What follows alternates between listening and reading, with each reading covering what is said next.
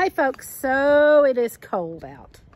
Um, I think it's like 38 degrees. It's pretty chilly out here and uh, the wind's blowing just a little, makes it feel colder even. Um, so Lee is busy working in my um, herb beds.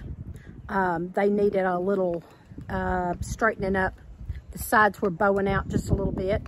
So he is uh, working in there. We'll go over there in a minute. Uh, but um, I just wanted to get out here by the woods and say we are not walking in the woods today.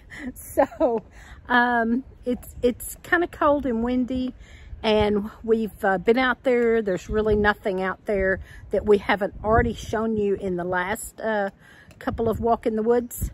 Um, pretty soon should be, we're going to have about a week of cold and then it's going to start warming up again and then we should start seeing uh, some other things especially some more mushrooms.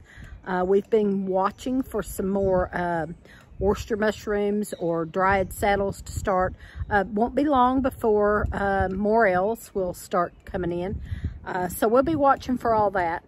Um, but in the meantime hmm, stretch this out. But in the meantime but in the meantime we will do a little foraging. Um, I am actually helping teach a homeschool group class on survival. And uh, last week and this week was foraging. So um, last week we took, uh, we made them a salad and uh, we, we bought some lettuce and we put some um, um, dead nettle and wild onions and uh, violets and dandelions in their salad. Uh, just a little bit in with their salad and they didn't eat a whole lot of salad uh, because if you're not used to that kind of stuff, it can upset your stomach a little bit until you get used to it. If you're used to eating that way, you're good.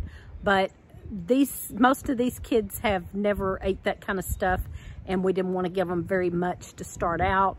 So we've been kind of showing them what you can eat out in your yard and out in the woods and uh, just a few things. Uh, it's a uh, preteen class and uh, I think they're, um, I, I, can't remember, 9 to 13 maybe or something like that. And so we've just been kind of showing them that you can eat some of these things and some of these things are medicinal and uh, just kind of introducing them to uh, foraging. So um, this week, tomorrow, um, I will be doing, um, um we're going to show them the difference in the dead nettle and the henbit. And both are edible, so it's not a big deal if, if you get them mixed up. But the, uh, the dead nettle is more, uh, has more nutrition and medicinal properties, where the henbit, not quite as much. Um, and uh, the henbit, they say, is a little bit uh, a little bit of a laxative, so you don't want to do very much of that. So I try to, you know, stick with the dead nettle. Uh, but of course, in a survival, this is a survival class, and in survival, you can eat either one. So we're going to show that and show them the difference. And um, I'm also going to do a, a, a, white pine needle tea for them and show them that and show them the difference on how to tell what pine it is. Now you can use most any of the pines. There's just a couple that uh, you shouldn't use, and uh, but most of them don't grow around here, uh, but maybe in your neck of the woods. But you can use most any of them. Uh, white pine is the most um, highest in vitamin C and and most uh, nutritional. And uh, it has five needles on each bundle. So that's the way to tell the white pine. And that's the best one to use but you can also use um, uh, I have a video on this uh, from way back.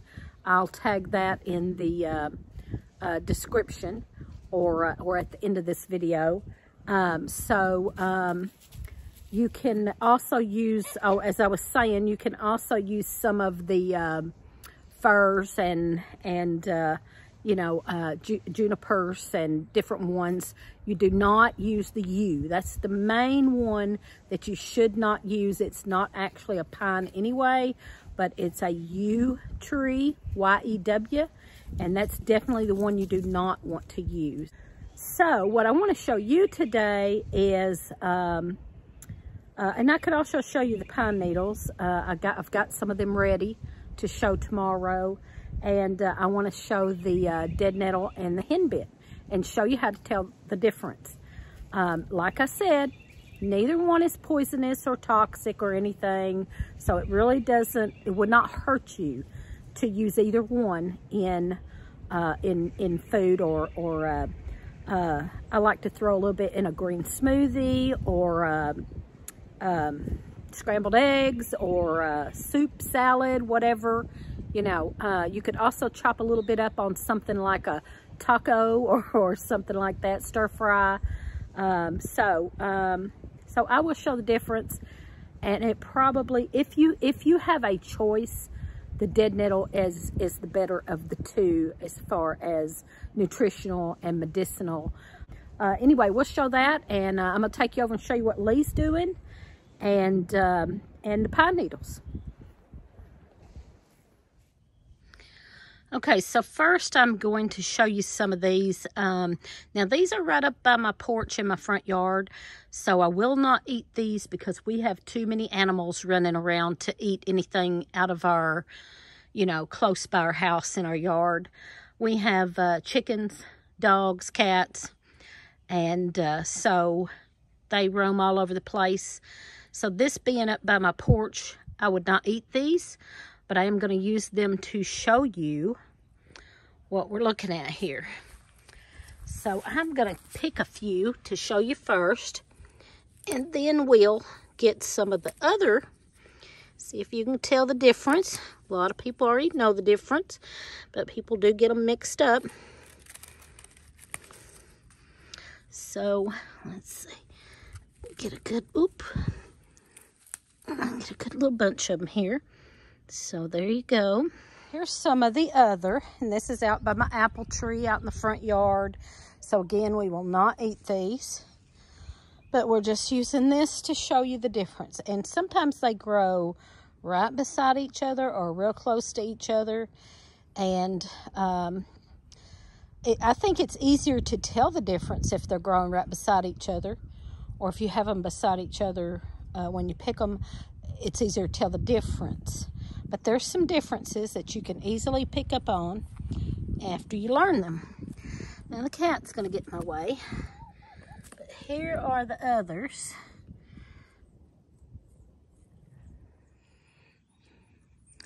All right, I come out here and see what Lee's got going on in the herb gardens.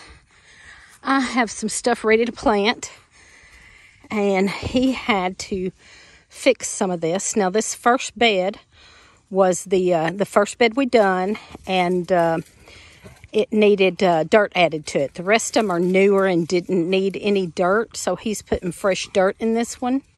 So, what happened here is, well, let me show one that's still bowed. Okay, here's a good one. This third bed here, see how bowed that side is? The side's kind of bowed out from the weight and he is uh, strengthening that up. So that's what he's going to do in each bed. We'll let him show you why the dogs has got to act up right now. I don't know, but they do. So this first bed, um, he's already fixed it. He's already strengthened the sides. He took wire and went from one side to the other and pulled it real tight to tighten that up and that took that bow out. These dogs. So that took that bow out of there. See, that one's got a little bit of a bow on that side.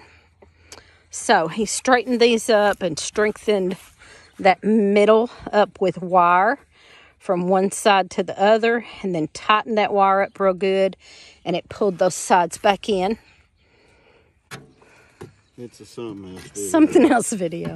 You don't know what we're I don't know what we're going to show next. So this uh, soil is some of that compost we got from the city. And uh, it is leaf mulch.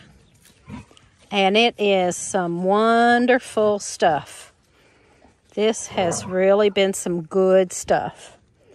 Uh, first time we got mulch from them, we got, what was it called? Wood mulch. Wood mulch. And it had a lot of big pieces and stuff in it. And uh, it was good. It was okay. It just had a lot of big pieces. But this we got for the beds. The bottom of this had the wood, wood mulch. And, um, and we didn't fill it up very full. And then we built the other beds. We filled them up full with the uh, leaf mulch. And they do amazing. Okay, so I've got these in the house. I just spreaded them out here. So they're all mixed up. And uh, I'm going to show you that there is a big difference uh, between the dead nettle and the henbit. If you want the more medicinal one, you're going to look for the dead nettle, which will be the one that has the thicker leaves up close to the top. All the leaves are closer to the top. The leaves are pointed. See how pointed those leaves are? I don't know if you can tell. I see the little pointed leaves. That is your dead nettle. Okay, and your henbit is going to have leaves all the way down, spread it apart. The flowers are a little bit longer. It still has kind of a little bit of a fuzzy feel and uh, thick leaves, but do you see that the leaves are rounded? The leaves are kind of rounded instead of pointed. All right, now let's show them side by side and you will see a huge difference. Separate, they look very much alike, but right beside each other, after I've told you some of the distinctive markers, you can really tell a difference. Dead nettle, all the leaves are towards the top and they are pointed. And henbit, the leaves are separate all the way up the stem and the leaves are rounded. Both are in the mint family. Uh, both are good for you and just fine to eat.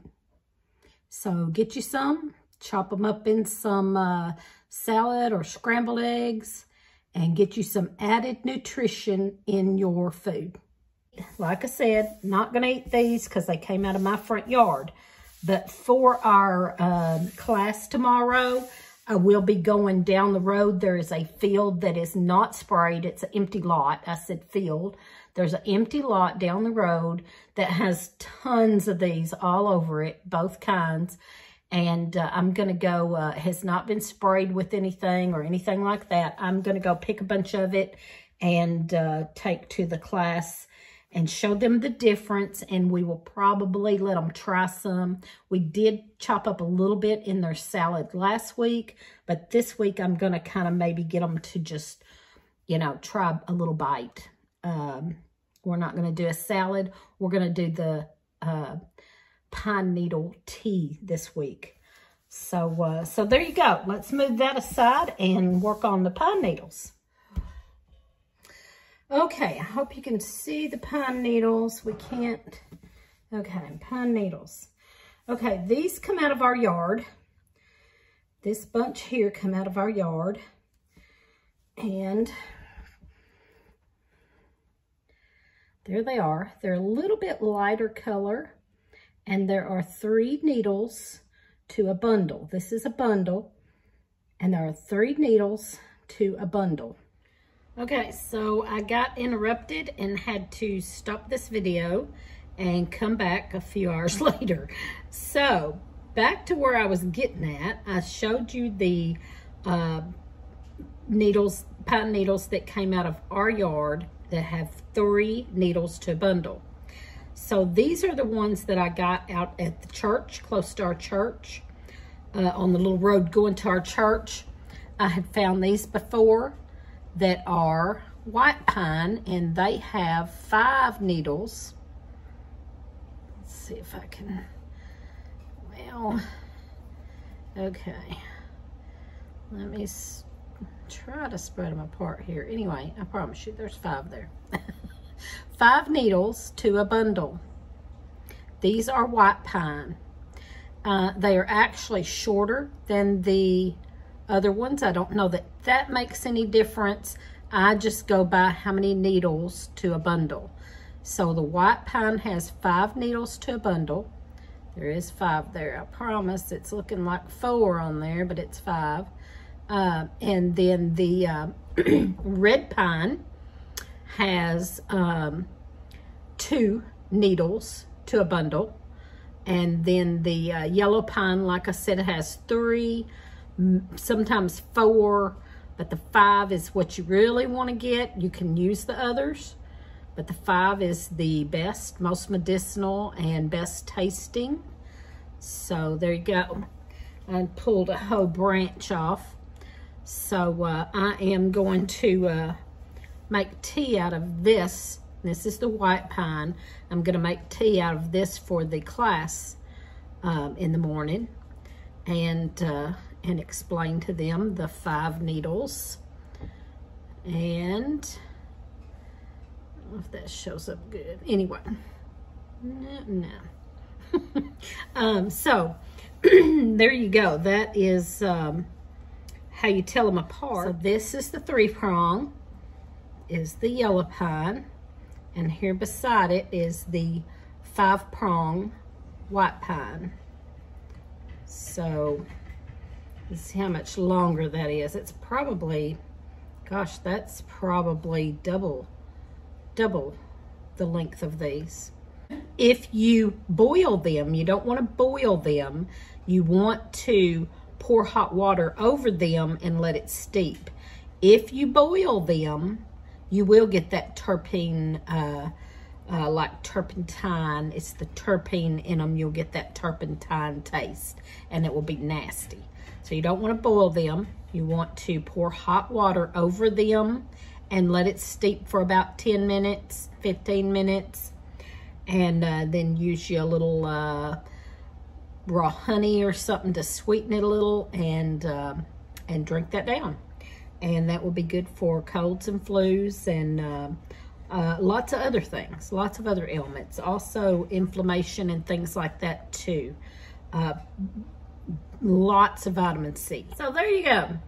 Give us a thumbs up, comment, subscribe, and watch us on Thursday nights at 6 Central.